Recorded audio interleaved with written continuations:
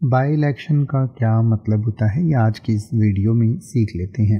By election का मतलब होता है कि जो आम चुनाव होते हैं, उनके बीच में जो कुछ सीटों पर चुनाव करवाए जाते हैं, उनको बाई इलेक्शन कहते हैं। यानी कि इसके अलग अलग कारण हो सकते हैं। जैसे मान लीजिए किसी पॉलिटिकल ऑफ़िस के लिए किसी नेता को चुना गया और उस नेता ने या तो रेजिग्नेशन दे दिया या उनकी मृत्यु हो गई या उन्हें डिसक्वालीफाई कर दिया गया तो वो सीट जो है वो खाली हो जाती है, चाहे वो आपकी लोकसभा की सीट है, चाहे विधानसभा की सीट है तो वो सीट जब खाली हो जाती है तो उस सीट को भरने के लिए उस इलाके में फिर से चुनाव करवाए जाते हैं। तो उसको बाई इलेक्शन कहा जाता है और जिसके कारण जैसे मैंने आपको बताया रेजिग्नेशन भी हो सकता है, कई बार कोई नेता रिज़ाइन कर देता है या उनकी डेथ हो जाती है या फिर उन्हें डिस्कालीफाई घोषित कर दिया जाता है तो उससे बाई इलेक्शंस होते हैं।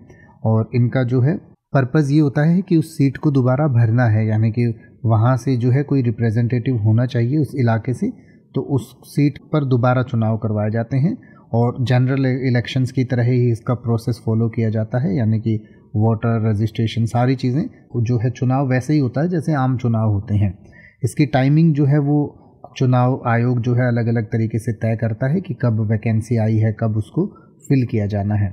और कई बार बाई इलेक्शन के जो रिज़ल्ट होते हैं वो भी पॉलिटिकल पार्टीज़ को काफ़ी प्रभावित कर सकते हैं, क्योंकि कई बार ऐसा होता है कि पहले कोई दूसरी पार्टी जीती और अगली बार दूसरी जीत जाती है तो उससे पार्टी के एक माहौल में या जनता के एक राय में फ़र्क आता है। तो इस तरीके से जो चुनाव हैं, वो बीच में जो चुनाव करवाए जाते हैं, यानी कि पूरे देश भर में ना होकर कुछ सीटों पर जो सीटों पर किसी ने रिज़ाइन दे दिया है या उनकी मृत्यु हो गई है तो उन सीटों पर जो चुनाव करवाए जाते हैं, उन्हें बाई इलेक्शन कहा जाता है। इसके बारे में और डिटेल से पढ़ना चाहें तो आपकी स्क्रीन और वीडियो की डिस्क्रिप्शन में पढ़ सकते हैं और इसको और बेहतर तरीके से समझ सकते हैं।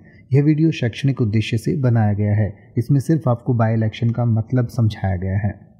अब आप किसी भी वर्ड का मतलब हिंदी और इंग्लिश में यूट्यूब पर सर्च कर सकते हैं। आपको मेरी वीडियो मिल जाएगी, जिसमें आप बिना किसी फालतू बकवास के सीधा उस वर्ड का मतलब समझ पाएँगे। तो ऐसी ही वीडियोस को देखते रहने के लिए चैनल को सब्सक्राइब करें और बेल आइकन को प्रेस करें।